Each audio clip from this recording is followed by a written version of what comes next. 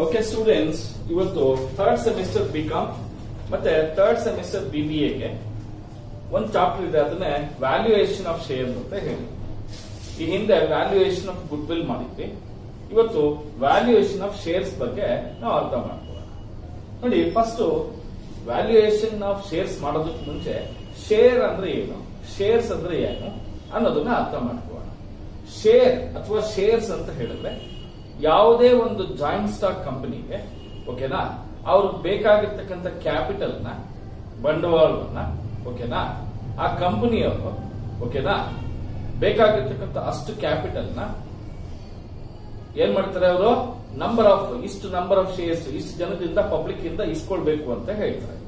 ಸೇ, ಈಗ ಒಂದು ಹತ್ತು ಕೋಟಿ ರೂಪಾಯಿ ಬೇಕು ಅಂತ ಇಟ್ಕೋಣ ಒಂದು ಕಂಪನಿಗೆ ಹತ್ತು ಕೋಟಿ ರೂಪಾಯಿ ಹೌದಾ? ನೂರ್ ನೂರು ರೂಪಾಯಿ ಪ್ರಕಾರ ಒಬ್ಬೊಬ್ಬರ ಹತ್ರ ಇಸ್ಕೊಟ್ರೆ ಒಂದು ಕೋಟಿ ಶೇರ್ಸ್ ಅನ್ನ ಇಶ್ಯೂ ಮಾಡಬೇಕಾಗುತ್ತೆ. ಹೌದಾ? ಸೊ ಒಂದು ಕೋಟಿ ಶೇರ್ಸ್ ಇಂಟು ನೂರು ರೂಪಾಯಿ ಅಂತ ಹೇಳಿದ್ರೆ ನೂರು ಕೋಟಿ ಆಯ್ತು. ಹೌದಾ? ಒಂದು ಕೋಟಿ ಶೇರ್ಸ್ ಇಂಟು ನೂರು ರೂಪಾಯಿ ಅಂದ್ರೆ ಎಷ್ಟಾಯ್ತು? ಹಂಡ್ರೆಡ್ ಕ್ರೋರ್ಸ್ ಆಯ್ತು.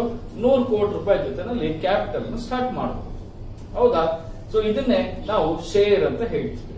ಸಿ ಮೀನಿಂಗ್ ಹೇಳ್ಬೇಕು ಅಂದ್ರೆ share is a unit of a share capital ಅಂತ ಹೇಳ್ತೀವಿ. Share is a unit of a share capital ಅಂತ ಹೇಳ್ತೀವಿ. ಈ ದುಡ್ಡನ್ನ ಪಬ್ಲಿಕ್ ಇಂದ ಪಡೆದಿರೋದ್ರಿಂದ ಪಬ್ಲಿಕ್ಗೆ ಶೇರ್ಸ್ ಅನ್ನ ನಾವು ಕಂಪನಿಯವರು ಇಶ್ಯೂ ಮಾಡಿ, ಅವರಿಂದ ದುಡ್ಡನ್ನ ಪಡೆದಿರೋದ್ರಿಂದ, ಇದನ್ನ ನಾವು ಏನಂತ ಹೇಳ್ತೀವಿ?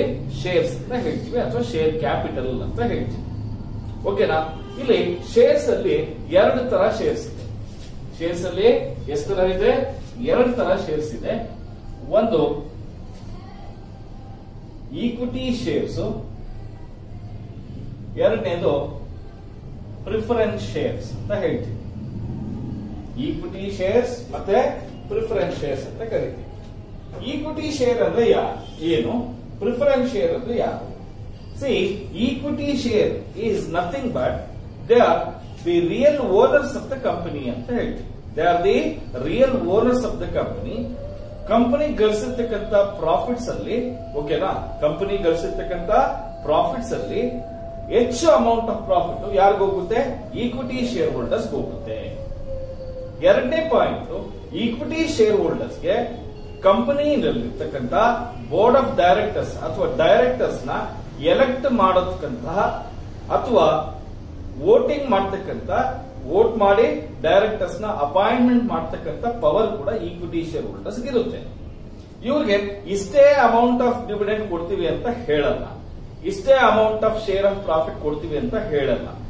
ಕೆಲವೊಮ್ಮೆ ಜಾಸ್ತಿ ಆದ್ರೂ ಕೊಡ್ಬೋದು, ಕಡಿಮೆನಾದ್ರೂ ಕೊಡ್ಬೋದು. ಯಾವ್ದ್ರ ಮೇಲೆ ಡಿಪೆಂಡ್ ಆಗಿರುತ್ತೆ? ಕಂಪನಿಯ ಲಾಭ ಪ್ರಾಫಿಟ್ ಮೇಲೆ ಡಿಪೆಂಡ್ ಆಗಿರುತ್ತೆ. ಹೆಚ್ಚು ಲಾಭ ಬಂದ್ರೆ ಹೆಚ್ಚು ಅಮೌಂಟ್ ಆಫ್ ಪ್ರಾಫಿಟ್ ಶೇರ್ ಅನ್ನ ಈಕ್ವಿಟಿ ಶೇರ್ ಹೋಲ್ಡರ್ಸ್ಗೆ ಡಿವಿಡೆಂಡ್ ರೂಪದಲ್ಲಿ ಕೊಡ್ತೀವಿ. ಕಡಿಮೆ ಪ್ರಾಫಿಟ್ ಬಂದಾಗ ಕಡಿಮೆ ಶೇರ್ ಆಫ್ ಪ್ರಾಫಿಟ್ ಡಿವಿಡೆಂಡ್ ರೂಪದಲ್ಲಿ ಕೊಡ್ತೀವಿ ಅರ್ಥ ಆಗ್ತಾ ಇದೆಯಾ? ಹಾಗೆ ಈಕ್ವಿಟಿ ಶೇರ್ ಹೋಲ್ಡರ್ಸ್ ಒಂದು ಸಾರಿ ಇನ್ವೆಸ್ಟ್ಮೆಂಟ್ ಮಾಡಿದ್ರೆ ಕಂಪನಿನಲ್ಲಿ ಶೇರ್ಸ್ ಅನ್ನ ಪರ್ಚೇಸ್ ಮಾಡಿದ್ರೆ ಅವ್ರ ದುಡ್ಡನ್ನ ಯಾವುದೇ ಕಾರಣಕ್ಕೂ ಕಂಪನಿ ಮಧ್ಯದಲ್ಲಿ ಆ ದುಡ್ಡನ್ನ ವಾಪಸ್ ಮಾಡೋದಿಲ್ಲ. ಹಾಗಾದ್ರೆ ಯಾವಾಗ ಮಾಡ್ತಾರೆ?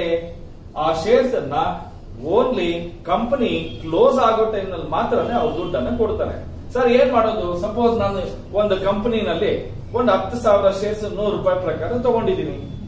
ತಗೊಂಡ್ ಸ್ವಲ್ಪ ದಿನ ಆದ್ಮೇಲೆ ನಾನು ಮಾರ್ಬೇಕು ಅಂತ ಇರ್ತೀನಿ. ನಾನು ಕಂಪನಿ ಎತ್ಕೊಂಡು ಕಂಪನಿ ಹತ್ರ ಹೋಗಿ ಸರ್ ಹತ್ತು ಸಾವಿರ ಶೇರ್ಸ್ ತಗೊಂಡಿದ್ದೀನಿ. ತಗೊಳ್ಳಿ, ವಾಪಸ್ ಕೊಡಿ, ದುಡ್ಡು ಕೊಡಿ ಅಂದ್ರೆ ಕೊಡೋದಿಲ್ಲ. ಏ, ಬೇಕಾದ್ರೆ ನೀನು ಮಾರ್ಕೆಟ್ ಅಲ್ಲಿ ಯಾರಿಗಾದ್ರೂ ಮಾರ್ಬಿಡು ಅಂತ ಹೇಳ್ತಾರೆ. ಅರ್ಥ ಆಗ್ತಿದ್ಯಾ? ಅಂದ್ರೆ ಈಕ್ವಿಟಿ ಶೇರ್ಸ್ ಅನ್ನ ಯಾವುದೇ ಕಾರಣಕ್ಕೂ ಕಂಪನಿಯವರು ಕಂಪನಿ ಮಧ್ಯದಲ್ಲಿ ಅಂದ್ರೆ ಕಂಪನಿ ನಡಿಬೇಕಾದ್ರೆ ಮಧ್ಯದಲ್ಲಿ ಏನ್ ಮಾಡಂಗಲ್ಲ ಅವ್ರ ದುಡ್ಡನ್ನ ವಾಪಸ್ ಪಡೆಯೋದಕ್ಕೆ ಆಗೋದಿಲ್ಲ ಇದು ಈಕ್ವಿಟಿ ಶೇರ್ಸ್ ಬಗ್ಗೆ ಇನ್ಫಾರ್ಮೇಶನ್ ಇನ್ನ ಪ್ರಿಫರೆನ್ಸ್ ಶೇರ್ಸ್ ಅಂದ್ರೆ ಏನು? ಪ್ರಿಫರೆನ್ಸ್ ಅಂದ್ರೆ ಏನು? ಪ್ರಯಾರಿಟಿ ಅಂತ ಹೇಳಿ. ಪ್ರಯಾರಿಟಿ ಶೇರ್ಸ್ ಪ್ರಿಫರ್ಡ್ ಶೇರ್ಸ್ ಅಂತ ಹೇಳ್ತೀವಿ. ಅಂದ್ರೆ ಈ ಶೇರ್ ಕ್ಯಾಪಿಟಲ್ಗೆ ಅಥವಾ ಈ ಶೇರ್ಸ್ ಅನ್ನು ತಗೊಂಡಿರ್ತಕ್ಕಂಥ ಶೇರ್ ಹೋಲ್ಡರ್ಸ್ಗೆ ಒಂದಷ್ಟು ಪ್ರಯಾರಿಟಿ ಇರುತ್ತೆ. ಏನ್ ಪ್ರಯಾರಿಟಿ ಅದು ಅಂತ ಹೇಳಿದ್ರೆ ಇವ್ರಿಗೆ ಫಿಕ್ಸ್ಡ್ ಪರ್ಸೆಂಟೇಜ್ ಆಫ್ ಡಿವಿಡೆಂಡ್ ಕೊಡ್ತೀವಿ. ಏನ್ ಕೊಡ್ತೀವಿ ಇವ್ರಿಗೆ? ಫಿಕ್ಸ್ ಪರ್ಸೆಂಟೇಜ್ ಕಂಪನಿನ ಲಾಭ ಎಷ್ಟಾದ್ರೂ ಬಂದಿರಲಿ. ಅರ್ಥ ಆಗ್ತಿದ್ಯಾ?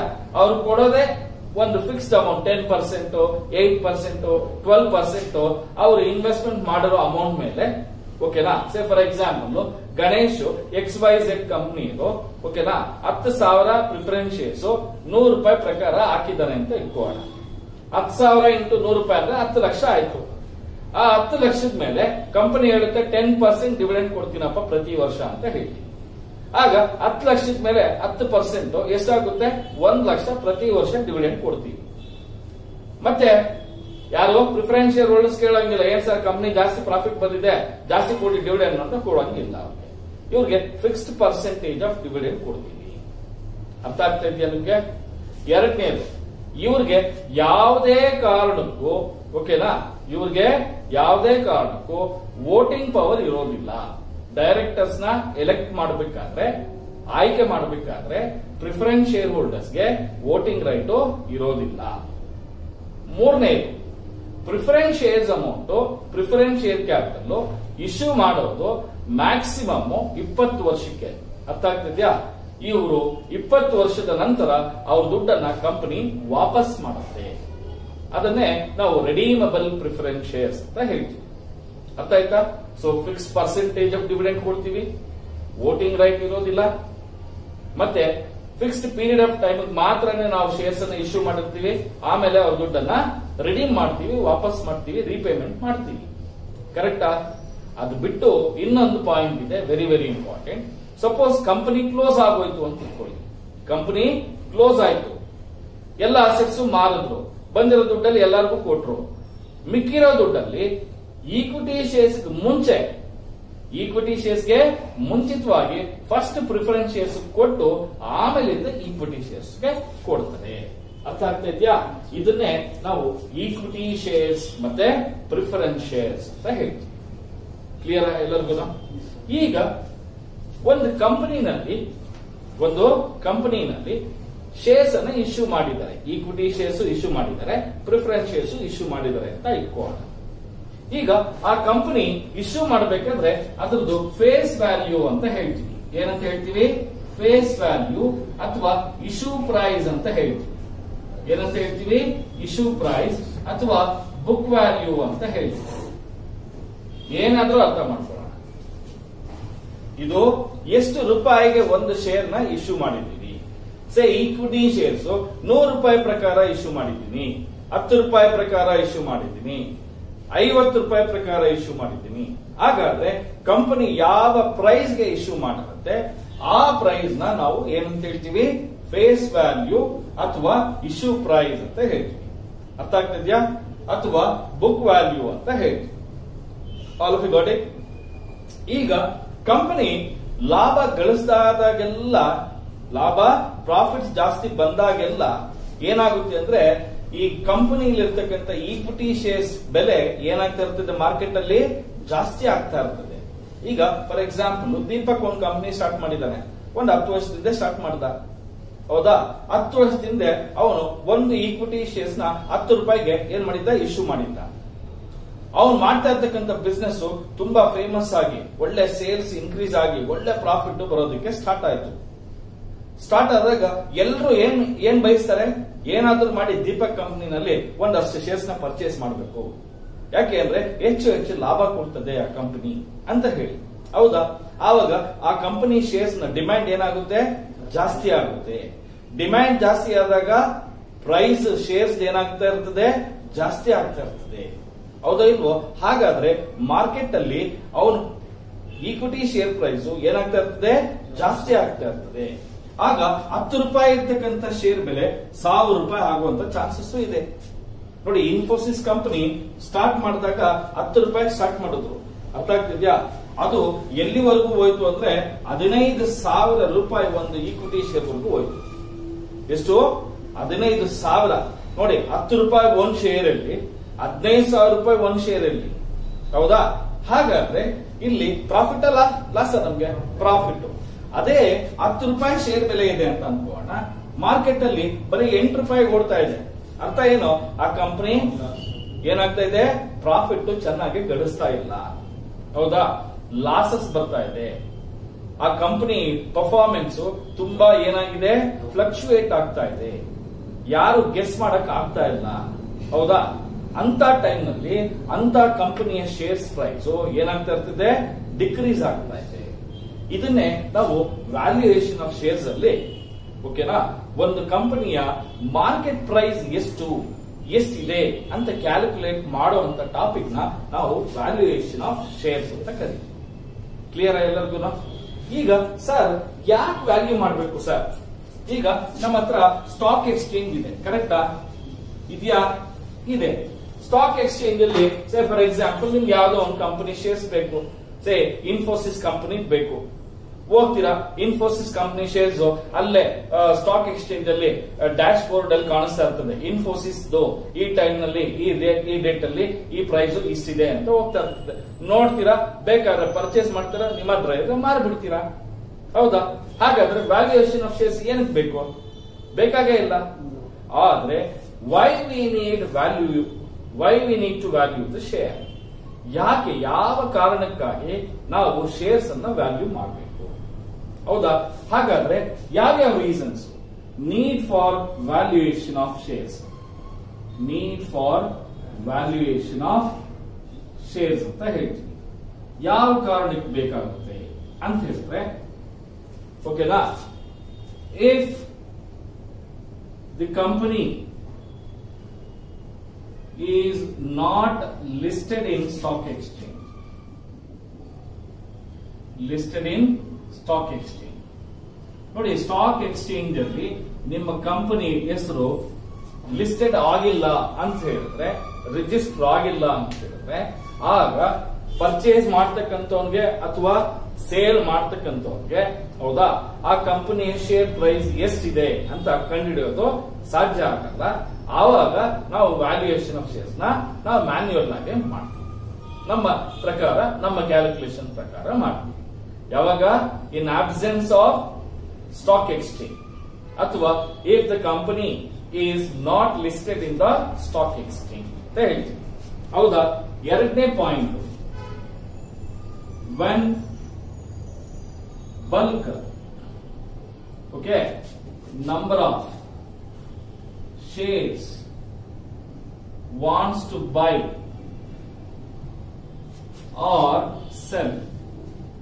ಯಾವಾಗಾದರೂ ನೀವು ಬಲ್ಕ್ ಅಲ್ಲಿ ತುಂಬಾ ಜಾಸ್ತಿ ಶೇರ್ಸ್ ಅನ್ನ ಪರ್ಚೇಸ್ ಮಾಡಬೇಕು ಅಂತ ಅನ್ಕೊಂಡಿರ್ತೀರಾ ಸೇಲ್ ಮಾಡಬೇಕು ಅಂತ ಅನ್ಕೊಂಡಿರ್ತೀರಾ, ಆವಾಗ ನಿಮಗೆ ಸ್ಟಾಕ್ ಎಕ್ಸ್ಚೇಂಜ್ ಅಲ್ಲಿ ಏನಾಗಿಲ್ಲ, ನಿಮ್ ಕಂಪನಿ ಲಿಸ್ಟೆಡ್ ಆಗಿಲ್ಲ, ಅಲ್ಲಿ ಮಾರ್ಕೆಟ್ ಬೆಲೆ ಎಷ್ಟು ಅಂತ ಗೊತ್ತಿಲ್ಲ.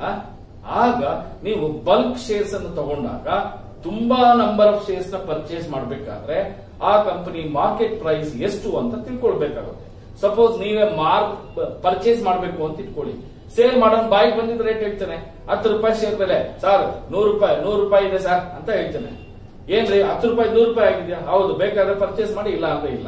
ಒಂದ್ ನಿಮಿಷ ಇರಿ, ನಂದೇ ಆಗಿರೋ ಮೆಥಡ್ ಇದೆ. ಆ- ಆ ಮೆಥಡ್ನಲ್ಲಿ ಎಷ್ಟು ಈ ಕಂಪ್ನಿದು ವ್ಯಾಲ್ಯೂ ಶೇರ್ಸ್ ಇದೆ ಅಂತ ಯೋಚನೆ ಮಾಡ್ಬಿಟ್ಟು ಆಮೇಲೆ ಹೇಳ್ತೀನಿ ಅಂತ ದೆನ್ ನೀವು ಸ್ಟಾರ್ಟ್ ಕ್ಯಾಲ್ಕುಲೇಟಿಂಗ್ ಅವಾಗ ಏನ್ ಮಾಡ್ತೀರಾ ನೀವು? ಆ ಶೇರ್ಸ್ ಅನ್ನ ನಿಮ್ಮ ಮೆಥಡ್ನಲ್ಲಿ ವ್ಯಾಲ್ಯೂ ಮಾಡ್ತೀರಾ. ವ್ಯಾಲ್ಯೂ ಮಾಡಿದ್ಮೇಲೆ ಅವ್ನು ಹೇಳಿರ್ತಕ್ಕಂಥ ನೂರು ರೂಪಾಯಿ ಇದೆಯಾ ಅಥವಾ ಅದಕ್ಕಿಂತ ಕಡಿಮೆ ಇದೆಯಾ ಅಂತ ಕ್ರಾಸ್ ಚೆಕ್ ಮಾಡ್ಕೊಳ್ತೀರಾ ಅದೇ ತರ ನೀವು ಸೆಲ್ ಮಾಡಬೇಕಾದ್ರೆ ಬಲ್ಕ್ ಶೇರ್ಸ್ನ ಮಾರ್ಬೇಕಾದ್ರೆ, ನಿಮಗೆ ಹೆಚ್ಚು ಲಾಭ ಬೇಕು ತಾನೆ. ಹಾಗಾದ್ರೆ ಮಾರ್ಕೆಟ್ ಅಲ್ಲಿ ಇವತ್ತಿನ ದಿನ ಆ ಕಂಪನಿ ಶೇರ್ಸ್ ಎಷ್ಟಿದೆ ಅಂತ ಕ್ಯಾಲ್ಕುಲೇಟ್ ಮಾಡಬೇಕಾದ್ರೂ ಕೂಡ ನಮಗೆ ವ್ಯಾಲ್ಯೂಯೇಷನ್ ಆಫ್ ಶೇರ್ಸ್ನ ಅವಶ್ಯಕತೆ ಬರುತ್ತೆ. ಅರ್ಥ ಆಗ್ತಾ ಇದ್ದೀನಪ್ಪ ಅರ್ಥ ಆಗ್ತಾ ಇದೆ. ಹಾಗೆ when one company purchases when one company acquires ಅಥವಾ purchased by another company. ಯಾವಾಗ ಒಂದು ಕಂಪನಿ ಇನ್ನೊಂದು ಕಂಪನಿ ಪರ್ಚೇಸ್ ಮಾಡ್ತಾ ಇದೆ ಅಂತ ಇಟ್ಕೋಣ ಸೊ ಇದನ್ನೇ ಅಕ್ವಿಸಿಷನ್ ಆಫ್ ಕಂಪನೀಸ್ ಅಂತ ಹೇಳ್ತೀವಿ, ಅಥವಾ mergers and acquisition of business ಅಂತ ಹೇಳ್ತೀವಿ. ಹೌದಾ? ನಾನು ಇನ್ನೊಂದು ಕಂಪನಿ ಪರ್ಚೇಸ್ ಮಾಡ್ತಾ ಇದ್ದೀನಿ. ಪರ್ಚೇಸ್ ಮಾಡ್ಬೇಕಾದ್ರೆ ನಾನು ಬೈಯರ್ ಆಗ್ತೀನಿ, ಇನ್ನೊಬ್ನು ಸೆಲ್ಲರ್ ಆಗ್ತೇನೆ. ಸೆಲ್ಲರ್ ಹೇಳ್ತಾನೆ, ಸರ್, ನಮ್ ಕಂಪ್ನಿ ಸಿಕ್ಕಾಪಟ್ಟೆ ಪ್ರಾಫಿಟ್ ಅರ್ನ್ ಮಾಡ್ತಾ ಇದೆ, ಸರ್, ಹಂಗ್ ಮಾಡ್ಬಿಟ್ಟಿದೀನಿ, ಸರ್, ಹಿಂಗ್ ಮಾಡ್ಬಿಟ್ಟಿದೀನಿ, ಸರ್, ಅಂತ ಹೇಳ್ತಾರೆ ನನಗೆ ಗೊತ್ತಾಗ್ಬೇಕಲ್ಲ ಅದು ಹೆಂಗೆ ಅಂತ? ಆದ್ರೆ ಅದು ಸ್ಟಾಕ್ ಎಕ್ಸ್ಚೇಂಜ್ ಅಲ್ಲಿ ಏನಾಗಿಲ್ಲ ಲಿಸ್ಟೆಡ್ ಆಗಿಲ್ಲ. ಆವಾಗ್ಲೂ ಕೂಡ ನಾನು ಆ ಕಂಪನಿಯ ಶೇರ್ಸ್ ಅನ್ನ ನನ್ನ ಮೆಥಡ್ನಲ್ಲಿ ವ್ಯಾಲ್ಯೂ ಮಾಡ್ತೀನಿ. ಅರ್ಥ ಆಗ್ತಿದ್ಯಾ? ಅದೇ ತರ ವೆನ್ ಗವರ್ಮೆಂಟ್ ಅಕ್ವೈರ್ಸ್ ಕಂಪಲ್ಸರಿ. ಓಕೆನಾ? ಗವರ್ಮೆಂಟ್ ಏನಾದ್ರು ನಮ್ಮ ಕಂಪ್ನಿ ಬಂದು ಕಂಪಲ್ಸರಿ ಅಕ್ವೈರ್ ಮಾಡ್ಬಿಡ್ತು ಅಂತ ಇಟ್ಕೊಳ್ಳಿ. ಆಗ್ಲೂ ಕೂಡ ವ್ಯಾಲ್ಯೂಯೇಷನ್ ಆಫ್ ಶೇರ್ಸ್ ಅನ್ನ ಮಾಡುವಂತ ಪರಿಸ್ಥಿತಿ ಬರುತ್ತೆ. ಐದನೇ point when a new partner ಓಕೆನಾ? ವೆನ್ ಎ ನ್ಯೂ ಪಾರ್ಟ್ನರ್ ಅಥವಾ when a partnership business is purchased by the company ಓಕೆನಾ ಅಥವಾ ಕಂಪನಿನ ಯಾರಾದ್ರೂ ಪರ್ಚೇಸ್ ಮಾಡ್ತಾ ಇದ್ರೆ ಸೊ ಇದು ಕೂಡ ಪಾಯಿಂಟ್ ಆಗುವಂತ ಚಾನ್ಸಸ್ ಇರುತ್ತೆ. ಸೊ ಇದು ಮೇಜರ್ ಪಾಯಿಂಟ್ಸ್ ಇದು ಬೇಡ ಆಯ್ತು ಓಕೆನಾ ಇದು these are the reasons why the value the shares ಅಂತ ಹೇಳ್ತೀವಿ. ಅರ್ಥ ಆಗ್ತಿದ್ಯಾ? ಸೊ ಇದು the reasons for valuation of shares ಈಗ what are the methods of ಏನದು? What are the methods of valuation of shares ಬಗ್ಗೆ ನೋಡೋಣ. ನೋಡಿ ವ್ಯಾಲ್ಯೂಯೇಷನ್ ಆಫ್ ಶೇರ್ಸ್ ಅಲ್ಲಿ ನಿಮಗೆ ಮಿನಿಮಮ್ ಇಪ್ಪತ್ತು ಮಾರ್ಕ್ಸ್ಗೆ ಕ್ವಶನ್ಸ್ಗೆ ಕ್ವಶನ್ಸ್ ಇರುತ್ತೆ. ಇಪ್ಪತ್ತು ಮಾರ್ಕ್ಸ್ಗೆ. ಒಂದು ಫೋರ್ಟೀನ್ ಮಾರ್ಕ್ಸ್ ಒಂದು ಕಂಪಲ್ಸರಿ ಒಂದು ಸಿಕ್ಸ್ ಮಾರ್ಕ್ಸ್ ಒಂದು ಕಂಪಲ್ಸರಿ ಇನ್ನೊಂದು ಟೂ ಮಾರ್ಕ್ಸ್ಗೆ ಒಂದು ಕಂಪಲ್ಸರಿ ಆಗಿರುತ್ತೆ. ಈಗ ಮೆಥಡ್ಸ್ ಯಾವ್ಯಾವು ಅಂತ ನೋಡೋಣ. ಮೆಥಡ್ಸ್ ಅಲ್ಲಿ ನಾವು ಹೇಳಿದ ಹಾಗೆ ಮೂರ್ ಮೆಥಡ್ ಇದೆ ಅಂತ ಹೇಳಿದೆ. ಕರೆಕ್ಟಾ ಅದರಲ್ಲಿ ಮೊದಲನೇದು ನೆಟ್ ಅಸೆಟ್ ಮೆಥಡ್ ಅಂತ ಹೇಳ್ತೀವಿ ಏನಂತ ಹೇಳ್ತೀವಿ? ನೆಟ್ ಅಸೆಟ್ ಮೆಥಡ್ ಇದನ್ನೇ ಇಂಟ್ರೆನ್ಸಿಕ್ ವ್ಯಾಲ್ಯೂ ಮೆಥಡ್ ಅಂತ ಹೇಳ್ತೀವಿ. ಇಂಟ್ರೆನ್ಸಿಕ್ ಇಂಟ್ರೆನ್ಸಿಕ್ ವ್ಯಾಲ್ಯೂ ಮೆಥಡ್ ಎರಡನೇದು ಏನಂತ ಹೇಳ್ತೀವಿ? ಮೂರನೇದು ಬಂದು ಯಾವುದೋ ಫೇರ್ ವ್ಯಾಲ್ಯೂ ಮೆಥಡ್ ಅಂತ ಹೇಳ್ತೀವಿ. ಏನಂತ ಹೇಳ್ತೀವಿ? ಫೇರ್ ವ್ಯಾಲ್ಯೂ ಮೆಥಡ್ ಮೂರನೇದು ಬಂದು, ಎರಡನೇದು ಬಂದು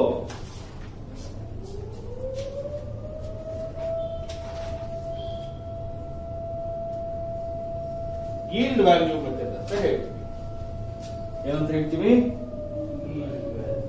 ವ್ಯಾಲ್ಯೂ ಮೆಥಡ್ ಅಂತ ಹೇಳ್ತೀವಿ. ಸಿ ನಮಗೆ ವ್ಯಾಲ್ಯೂಯೇಷನ್ ಆಫ್ ಶೇರ್ಸ್ ಅಲ್ಲಿ ಮೂರು ಮೆಥಡ್ಸ್ ಇದೆ. ಒಂದು ನೆಟ್ ಅಸೆಟ್ ಮೆಥಡ್ ಅದಕ್ಕೆ ಇನ್ನೊಂದು ಹೆಸರೇನೋ? Intrinsic value method yield value method ಮತ್ತೆ ಫೇರ್ ವ್ಯಾಲ್ಯೂ ಮೆಥಡ್ ಅಂತ ಹೇಳ್ತೀವಿ. ಓಕೆನಾ ಅಂದ್ರೆ ಒಂದು ಕಂಪನಿ ಶೇರ್ಸ್ ಅನ್ನ ನಾವು ವ್ಯಾಲ್ಯೂ ಮಾಡಬೇಕಾದ್ರೆ ಬೇಸಿಕ್ ಆಗಿ ನೀವೇ ಯೋಚನೆ ಮಾಡಿ, ಆ ಕಂಪನಿ ಹೆಚ್ಚು ಲಾಭ ಬಂದ್ರೆ ಹೆಚ್ಚು ಲಾಭ ಬರ್ತಾ ಇದ್ರೆ ಆ ಲಾಭ ಎಲ್ಲ ಏನ್ ಮಾಡುತ್ತಪ್ಪ ಕಂಪ್ನಿಯವರು? ದೊಡ್ಡ ದೊಡ್ಡ ಅಸೆಟ್ಸ್ನ ಪರ್ಚೇಸ್ ಮಾಡುತ್ತೆ ಲ್ಯಾಂಡ್ ಅಂಡ್ ಬಿಲ್ಡಿಂಗ್ ಪರ್ಚೇಸ್ ಮಾಡುತ್ತೆ ಬಿಸ್ನೆಸ್ನ ಎಕ್ಸ್ಪ್ಯಾಂಡ್ ಮಾಡುತ್ತೆ. ಹೌದಾ? ಇನ್ನೊಂದು ಎಕ್ಸ್ಟ್ರಾ ಬಿಲ್ಡಿಂಗ್ ಎಕ್ಸ್ಟ್ರಾ ಯೂನಿಟ್ ಅನ್ನ ಇಡುತ್ತೆ ಎಕ್ಸ್ಟ್ರಾ ಬ್ರಾಂಚ್ ಓಪನ್ ಮಾಡಬಹುದು ಇನ್ನೊಂದು ಏನೋ ಬಿಸ್ನೆಸ್ ಅನ್ನ ಸ್ಟಾರ್ಟ್ ಮಾಡಬಹುದು ಅಂದ್ರೆ ಎಕ್ಸ್ಪ್ಯಾನ್ಷನ್ ಜಾಸ್ತಿ ಆಗ್ತಾ ಇರ್ತದೆ. ಅಸೆಟ್ಸ್ ವ್ಯಾಲ್ಯೂ ಏನಾಗ್ತಾ ಇರ್ತದೆ? ಜಾಸ್ತಿ ಆಗ್ತಾ ಇರ್ತದೆ. ಯಾವಾಗ ಅಸೆಟ್ಸ್ ವ್ಯಾಲ್ಯೂ ಜಾಸ್ತಿ ಆಗ್ತಾ ಇರ್ತದೆ ಶೇರ್ ವ್ಯಾಲ್ಯೂ ಕೂಡ ಏನಾಗ್ತಾ ಇರ್ತದೆ? ಜಾಸ್ತಿ ಆಗ್ತಾ ಇರ್ತದೆ. ಅದಕ್ಕೆ ನಾವು ನೆಟ್ ಅಸೆಟ್ ವ್ಯಾಲ್ಯೂ ಮೆಥಡ್ನಲ್ಲಿ ಅಸೆಟ್ಸ್ ಮತ್ತೆ ಲಯಬಿಲಿಟೀಸ್ ಪೊಸಿಷನ್ ಮೇಲೆ ಆ ಕಂಪನಿಯ ಶೇರ್ ಪ್ರೈಸ್ ಎಷ್ಟಿದೆ ಅಂತ ಕ್ಯಾಲ್ಕುಲೇಟ್ ಮಾಡ್ತೀವಿ. ಎರಡನೇದು ಈಲ್ಡ್ ವ್ಯಾಲ್ಯೂ ಮೆಥಡ್ ಅಂತ ಹೇಳಿ. ಈಲ್ಡ್ ಅಂದ್ರೆ ಏನು? ಎಷ್ಟು ಇನ್ವೆಸ್ಟ್ಮೆಂಟ್ ಮಾಡಿದ್ರೆ ಎಷ್ಟು ಲಾಭ ಬಂದಿದೆ. ಹೌದಾ? ಅಂದ್ರೆ ಲಾಭದ ಆಧಾರದ ಮೇಲೆ ಲಾಭದ ಬೇಸಿಸ್ ಮೇಲೆ ನಾವು ಶೇರ್ಸ್ ಅನ್ನ ವ್ಯಾಲ್ಯೂ ಮಾಡ್ತೀವಿ. ಫೇರ್ ವ್ಯಾಲ್ಯೂ ಮೆಥಡ್ ಅಂತ ಹೇಳಿದ್ರೆ ಎರಡು ಮೆಥಡ್ ನಲ್ಲೂ ಕ್ಯಾಲ್ಕುಲೇಟ್ ಮಾಡಿ, ಎರಡು ಮೆಥಡ್ ನಲ್ಲೂ ನೆಟ್ ಅಸೆಟ್ ಅಲ್ಲೂ ಮತ್ತೆ ಈಲ್ಡ್ ವ್ಯಾಲ್ಯೂ ಎರಡರಲ್ಲೂ ಮಾಡಿ ಆವರೇಜ್ ಎಷ್ಟು ಬಂದಿದೆ ಅದನ್ನ ನಾವು ತಗೊಳ್ತೀವಿ. ಅಂದ್ರೆ say for example net asset value ನಲ್ಲಿ ಎಷ್ಟೋ ಒಂದಷ್ಟು ಬಂದಿದೆ ಅಂತ ಈಲ್ಡ್ ವ್ಯಾಲ್ಯೂ ನಲ್ಲಿ ಎಷ್ಟೋ ಒಂದಷ್ಟು ಬಂದಿದೆ. ಡಿವೈಡೆಡ್ ಬೈ ಟೂ ಮಾಡಿದ್ರೆ ನಮಗೆ ಮಾರ್ಕೆಟ್ ವ್ಯಾಲ್ಯೂ ಆಫ್ ಶೇರ್ ಬರುತ್ತೆ. ಏನ್ ಬರುತ್ತೆ? ಮಾರ್ಕೆಟ್ ವ್ಯಾಲ್ಯೂ ಆಫ್ ಶೇರ್ ಇದೇ ಇದಕ್ಕೆ ಸ್ಟ್ಯಾಂಡರ್ಡ್ ಏನಂತಾರೆ? ಫಾರ್ಮುಲಾ ಓಕೆನಾ ಈ ಮೆಥಡ್ನಲ್ಲಿ ಕ್ಯಾಲ್ಕುಲೇಟ್ ಮಾಡ್ತೀವಿ.